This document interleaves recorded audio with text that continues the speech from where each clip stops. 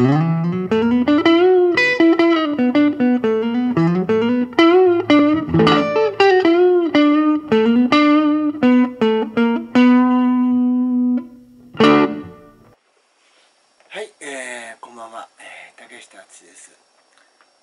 日ね、え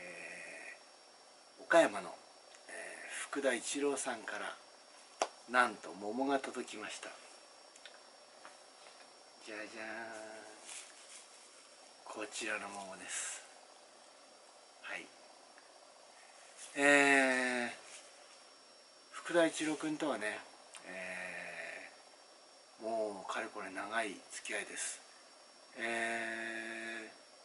最初に出会ったのはね、えー、モーターチューナーのあの関口義雄さんの紹介で、えー、一緒にね、えー、川場村で行われた、全日本選手権ね、えー、福田一郎さんは、えー、スポーツクラスにエントリーしました。えー、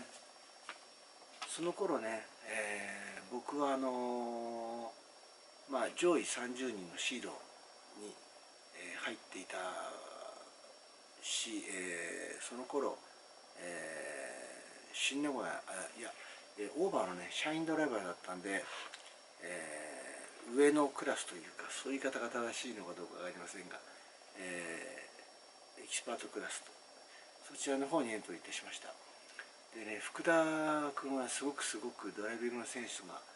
よくって最終的にはね非常に残念ながら11位でレースを終えたと思います、えー、そんな福田さんからね、えー、こんな桃素晴らしいとっても美味しい桃をねていただきました。あのー、私のね、え祖母の、え加藤桐、えー、旧姓はね、えー、杉浦桐がですね桃が大好きでして、えー、今日ね、あの仏壇に備えさせていただきました、えー、実はね福田さんにちょっとプレゼントしたいなと思ってる、帽子がございまして、えー、こちらのストローハットなんですがこれねあの普通のストローハットに見えてちょっと違うんですよ、えー、どう違うかと申しますと、えー、全体にねうっすらとね、えー、ラッカーを吹きつけてあります。それによってね何が違うかと申しますとまずねしっとりとした、ね、質感が出ます。はい。今年ねストローハットすごく流行していて皆さんかぶってるんですがあの一六もね、えー、ストローハットかぶっております。これはねあの僕がとてもね気に入ってかぶっていたんですが、えー、僕はねこのタイプのね今ちょっと、えー、スカなんかね演奏される方がよくかぶってらっしゃる、え、帽子なんですがこれはね福田さんによく似合うと思うんですよ。なのでねプレゼントしたいと思っております、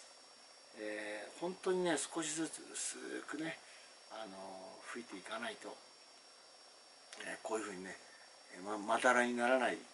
綺麗なストローハットが完成します、えー、そんだけでね本日ご紹介したのは岡山さんの桃です。大変美味しいございます。これねあのキンキンに冷やしてもまあ美味しいんですけど私はねあの常温でねこうキュッキュッと洗って、えー、そのまま食べるのがとっても好きです、えー、福田さんどうもありがとうございました。それではねまた次の動画でお会いいたしましょう。See you next time です。